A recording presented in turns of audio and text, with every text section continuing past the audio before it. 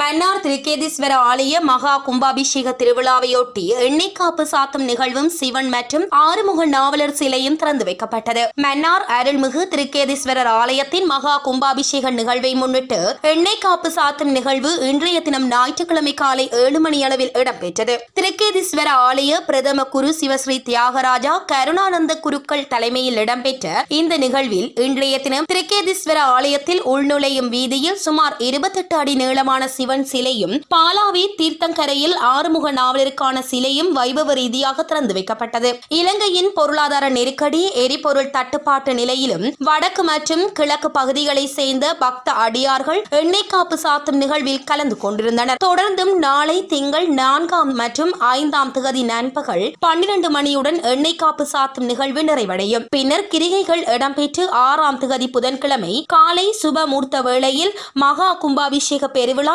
இடம்பெற உள்ளது குறிப்பிடத்தக்கது